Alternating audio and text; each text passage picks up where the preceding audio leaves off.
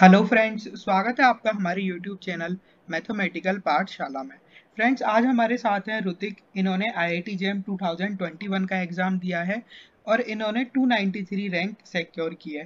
तो आज हम इनसे जानेंगे कि इन्होंने अपने एग्ज़ाम की स्ट्रेटेजी किस तरीके से बनाई थी। इन्होंने एग्ज़ाम हॉल में प्रेशर को किस तरीके से टैकल किया था और जो आईआईटी जेम 2022 के एस्पिरेंट्स हैं उनके लिए ये अपनी टिप्स भी शेयर करेंगे। तो सबसे पहले हम ऋतिक के बारे में जानते हैं कि हाँ मैं BSc sir PT Sarvajanik college of science Surat से कर रहा हूँ।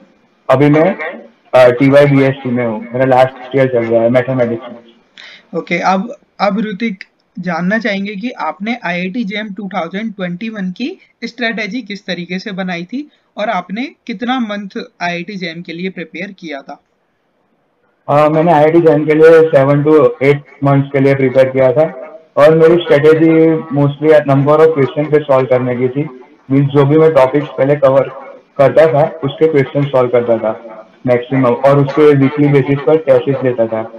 एक बार फिर पूरा जब सिलेबस मेरा कंप्लीट हो गया फिर उसके बाद से मैंने मॉक टेस्ट देना स्टार्ट की। मैंने मॉक टेस्ट में भी मुझे बहुत हेल्प किया अराउंड मैंने बहुत सारी मॉक टेस्ट दी थी तो जैसा कि ऋतिक ने बताया कि उन्होंने सात से आठ मंथ प्रिपरेशन करी और उन्होंने अपने प्रिपरेशन में क्वेश्चंस को ज़्यादा इंपॉर्टेंस दी कि थ्योरी और क्वेश्चंस को बैलेंस करके चले।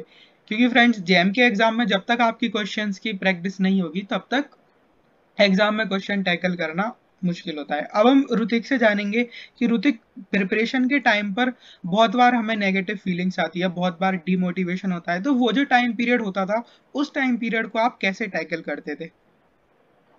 हाँ डिमोटिवेशन जब भी होता है, तब मैं मोस्टली जो मेरा फेवरेट टॉपिक था, वो जैसे मुझे प्योर मैथमेटिक्स पसंद है तो मैं उस पर ज़्यादा फोकस करता था। और फिर फिर से टेस्ट देता था और टेस्ट में फिर से जब हमारा रैंक अच्छा आता है तो हम मोटिवेटेड हो जाते हैं। हाँ तो जैसा कि ऋतिक ने बताया कि जब वो डिमोटिवेट होते थे तो तो जो उनका फेवरेट टॉपिक होता था, वह पढ़ते थे। तो फेवरेट टॉपिक से जब पढ़ते थे तो उनका डिमोटिवेशन दूर होता था। और अब हम ऋतिक से जानेंगे। ऋतिक जब आप एग्ज़ाम हॉल में बैठे थे तो एग्ज़ाम हॉल में ऑब्वियसली बहुत प्रेशर होता है। हमारे दिमाग में कहीं ना कहीं चल रहा होता है कि यार, अगर आईआईटी में एडमिशन नहीं हुआ तो अगर क्वेश्चंस नहीं हुए तो वो जो तीन घंटे का टाइम पीरियड है वो आपने किस तरीके से टैकल किया था? बहुत सारे टेस्ट दिए थे। जैसे एग्ज़ाम में जैसा एटमोसफेयर होता है वैसे ही मैं घर पे टेस्ट दिया था ऑनलाइन कंप्यूटर पे। सो वो मुझे बहुत हेल्प किया एग्ज़ाम के लिए कि मुझे फिर वही एटमोसफेयर लगा जैसे घर में होता है। इससे मैं ज़्यादा कंफर्टेबल हो पाया उस एग्ज़ाम हॉल में।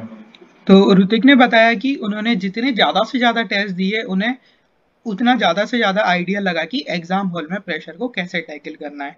अब मैं ऋतिक से जानना चाहूँगा कि ऋतिक मैथमेटिकल पाठशाला ने आपकी किस तरीके से हेल्प की? मैथमेटिकल पाठशाला ने आ, मुझे पहले तो थियोरी मैंने मैं देखता था यूट्यूब चैनल पे सारे टॉपिक्स उधर बहुत डीपली और बहुत अच्छे से सर ने समझाया है।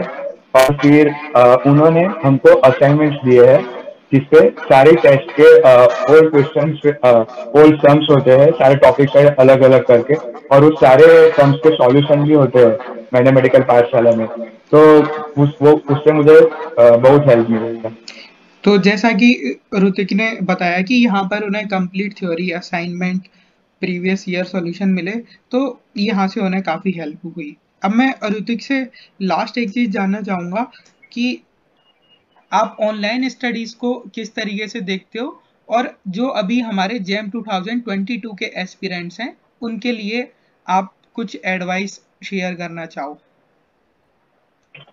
हाँ ऑनलाइन स्टडीज़ तो एक्चुअली मुझे आ, काफ़ी प्रिफरेबल लगा क्योंकि उससे हमारा टाइम कम वेस्ट होता है और हम अच्छे से प्रिपेयर कर सकते हो। जब भी मन हो, तब लेक्चर देख सकते हैं। और ट्वेंटी टू के जेम एक्सपीरियंस में यही कहना चाहूँगा कि कंसिस्टेंसी ज़्यादा इम्पोर्टेंट है। कि ऐसा नहीं है कि आपको रोज इसके लिए आठ से नौ ओवर पढ़ने पड़े। आप दो ओवर पढ़ो, लेकिन रोज पढ़ो कंसिस्टेंसी रखो। मैं भी रोज दो ओवर मिनिमम पढ़ता था और next five to six over पढ़ता था। थैंक यू ऋतिक जैसा कि ऋतिक ने बताया कि ऑनलाइन स्टडीज़ में हम अपने कंफर्ट के हिसाब से कभी भी वीडियोस देख सकते हैं। और उन्होंने जेम 2022 के लिए 22 के एस्पिरेंट्स के लिए बताया कि कंसिस्टेंसी बहुत ही इंपॉर्टेंट है। ऐसा नहीं है कि आप तीन दिन तक दस घंटे पढ़े, उसके बाद आपने दस दिन का ब्रेक ले लिया।